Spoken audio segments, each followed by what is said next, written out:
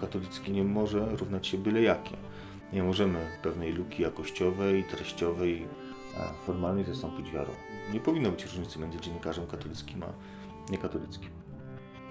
Nazywam się Rafał Pastwa, jestem księdzem, kierownikiem lubelskiej redakcji Gościa Niedzielnego od lipca 2013 roku.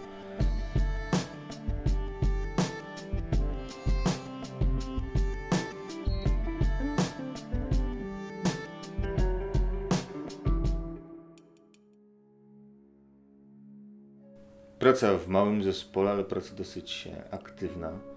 Mm, Nasza lubelska redakcja ma wśród obowiązków przede wszystkim pokazywanie życia kościoła lokalnego, ale także wydarzeń, które są aktualne, bieżące i ważne dla całego regionu, dla całej Lubelszczyzny.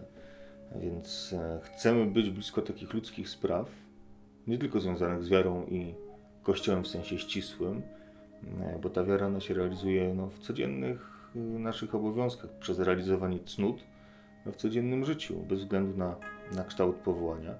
Y, Staramy się robić to na bieżąco, aktualnie i, i, i, i sensownie, y, z pełną taką odpowiedzialnością, no i na dobrym poziomie. Oczywiście każdego dnia spotykam się po to, żeby ustalić jakiś optymalny plan tego, co jesteśmy w stanie zrobić.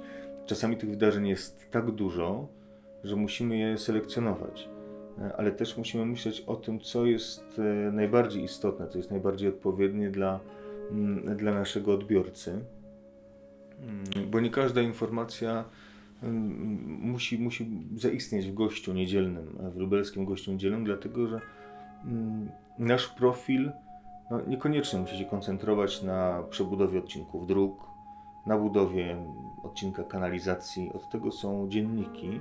My musimy jednak próbować nabrać takiego rytmu e, e, tygodnikowego, aczkolwiek w tej przestrzeni, zwłaszcza w wydaniu internetowym, jest to bardzo trudne, żeby, żeby dokonać takiego podziału. No, nie ukrywam, tę pracę, którą wykonujemy, myślę, że gdyby wykonywało pięć osób, też nie miałby powodów do wstydu. Myślę, że pracujemy na bardzo wysokich obrotach i jest to w jakiś sposób doceniane też przez czytelników.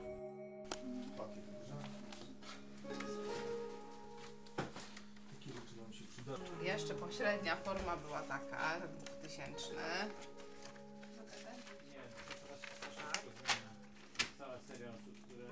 Jeżeli mówimy o, o możliwościach agresji czy przemocy w, w internecie, mm, w tej przestrzeni cybernetycznej, to ona istnieje na każdym kroku.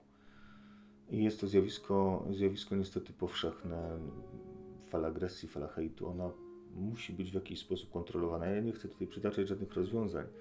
Natomiast nie jest to łatwe zjawisko dla dziennikarzy, publicystów, komentatorów. Jedni oczywiście robią wszystko, żeby fala komentarzy zalała ich, ich e, pracę, e, bo wtedy stają się popularni, wtedy jest o nich głośno, wtedy mają swoich zwolenników i przeciwników. Zresztą to jest najprostsza, e, mm, mm, najprostszy mechanizm podziału. Kontekście cyberprzemocy musi następować proces wychowania począwszy od szkoły podstawowej, nawet od przedszkola. I moi znajomi, którzy wykonują zawody prawnicze, robią tego typu szkolenia, robią tego typu spotkania, bo w każdej szkole występuje cyberprzemoc. I niestety ludzie nie potrafią korzystać z internetu. Tak jak powiedziałem wcześniej, nie jest to anonimowa grupa, która nie, nie, nie, nie ponosi żadnej odpowiedzialności i, i, i może robić sobie co chce. Internet nie jest anonimowy. O tym trzeba pamiętać. I myślę, że mm, pewne rzeczy są do wyprostowania poprzez edukację. Odbiorcy mediów i media też powinny o tym informować, bo jest to jakby, no, nam powinno zależeć dziennikarzom, żeby edukować odbiorcę mediów, żeby on nie był bezkrytyczny, żeby on nie był agresywny, mm, żeby on nie był po prostu bierny społecznie. Po to pracujemy, żeby, żeby tych ludzi też edukować. Dziękuję bardzo.